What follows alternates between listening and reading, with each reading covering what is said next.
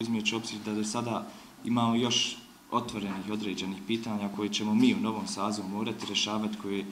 nažalost, u prošlom sazivu ne da nisu mogli, nego jednostavno nije bilo tog prostora da se riješi. Nadamo se da ćemo i mi na neki način doći do tog prostora da se riješi, da ćemo naići na neki dijalog kako sa vlastima, tako i sa drugim institucijama, ali naravno to, to je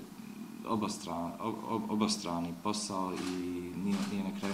do nevladnog sektora. Tako da je jedan od prioriteta novog saziva prije svega bolje uvezivanje sa institucijama vlasti u Bosni i Hercegovini kako bi ojačali utjecaj nevladnog sektora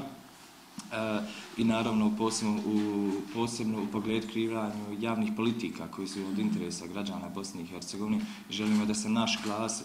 više čuje i želimo da naši članovi NVO vijeća, ali također i ne članovi, to jest druge nevladne organizacije civilno društva ima veći utjecaj i da zaista predloži kvalitetna, kvalitetna rješenja. Jer do sada smo bili svjedoci da NVO sektor može predložiti kvalitetna rješenja, sve zavisi koliko će nas vlast poslušati.